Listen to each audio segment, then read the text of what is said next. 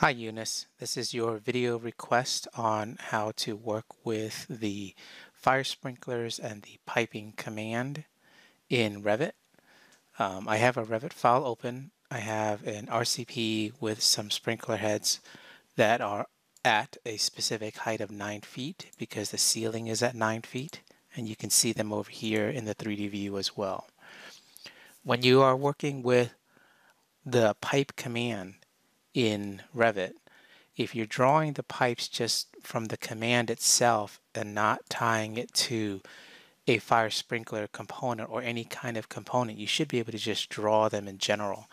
So if I use the pipe command right here, it'll give me the ability to specify the diameter that I want. And in this list is just the default um, and what you've added over time. So if you need a specific size, you can pick the one you want like this, or you can type in uh, the size you want. And then you can specify the elevation as well. So the elevation for the ceiling is at 9, so I'll set the height of the sprinkler runs to be, say, I don't know, 11 feet should be more than enough.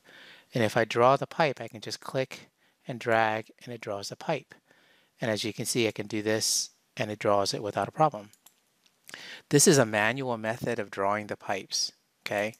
And if you switch this to a, a fine level of detail, you can see the thickness of the piping. If you draw the pipes where you're changing the sizes as you're drawing the pipes, that's just a matter of you drawing a piece, then changing the size that you want to something else, then drawing the segment, and then changing the size that you want, and then drawing the segment, and it will build it. And if we look at this in 3D over here, you can see it's building it and it's, it's putting in the fittings necessary and resizing it necessary that it needs. Okay. Now, if you're drawing the all the pipes from the standpoint of from the actual sprinkler head, if we do this in plan or in 3D, let's go over to 3D view. And I select that sprinkler head, you can see it says there is a connector already there that's built with a half inch. So if you right click the node and say draw pipe, you can draw the pipe whatever elevation you want. It defaults to 9 feet because the sprinkler is at 9 feet. So I'm going to switch this to 11 feet to go up and hit apply and it goes up and it draws it at half inch diameter because that's the default of the sprinkler head. Now you don't have to assume that that's what you want uh, for the size. So let me go over to the next sprinkler head and if I click this sprinkler head and I right click and I say draw pipe, it again still defaults to half inch, but I can still click here and say three quarter and do this at 11 feet and hit apply and it should go up and show you a size of three quarter inch pipe. So if I select it, it says three quarter. See, and even now I can still change it to say one inch pipe and it should change.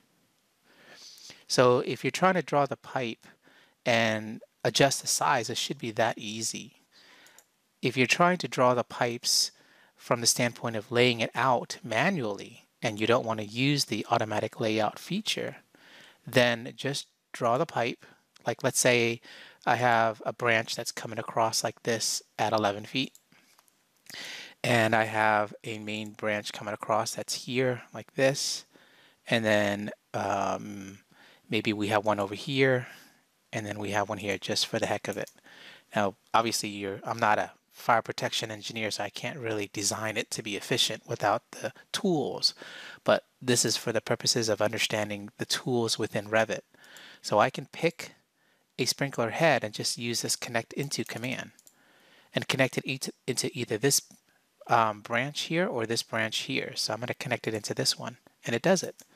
So I can do this manually for each one and it will build it. So I pick this one again. Uh, actually, this one was already built and so I'll pick this one. Oh, that one was already built too. Those were the two that we played with earlier. So I'll connect it into this one and not enough room. So I'm going to hit cancel and then pick this and say connect into this one here. And it works. See? So you have to look at it from the standpoint of how you want to draw it and how you want it to connect to a branch will dictate what kind of tools you want to use. So here in this situation, if I try to click this and do connect into, it'll probably fail on me again.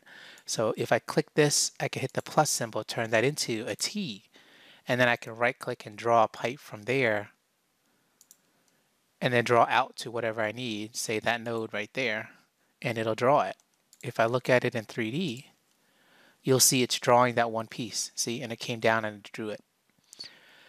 So it just depends on how you're drawing the pipes and how you're approaching it will dictate how it will want to, you know, build it. But you should be able to. Your your root question and problem about drawing the pipe at the specific size you want shouldn't be difficult. You should be able to just click the node, say draw pipe, put in the size you want, excuse me, put in the elevation you want, hit apply, and it should build it, see? And if I go here from the node and try and draw it into this piece here, it'll probably fail on me. Uh, in this case, it didn't because it allowed me to go at an angle. I was hoping and I was expecting it to go perpendicular. But as you can see, it still works. Um, I hope this video um, request uh, and video that I made for you helps you understand how to use the commands in Revit to draw the pipes for your fire sprinkler. Okay? And if you still need help, just let me know. Thanks. Bye.